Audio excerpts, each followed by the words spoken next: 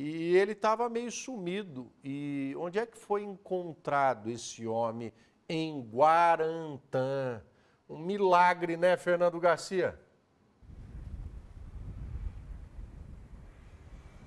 Exatamente, hein, Rodrigo? Olha só, os policiais estavam fazendo o chamado 25, quando ficam pela rua da cidade a 25 km por hora fazendo patrulha, patrulhamento. Eis que uma pessoa parou a viatura assustada. Me ajuda, me ajuda, me ajuda. O muro caiu em cima de um senhor.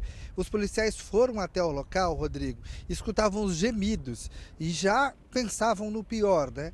Mas com ferramentas ali, as pessoas foram trazendo, eles foram quebrando com muito cuidado o muro, foram tirando os tijolos embaixo desses escombros estava um idoso que estava desaparecido.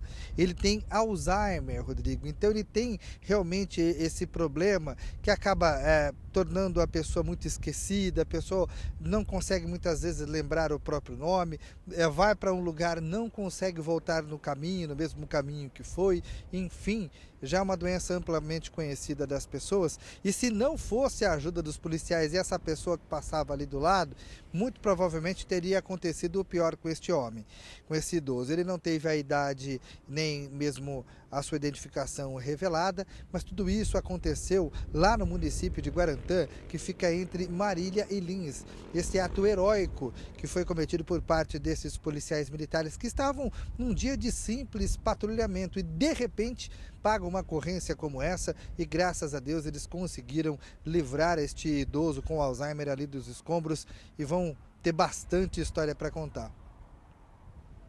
Obrigado, Fernando Garcia, Ailton Rodrigues.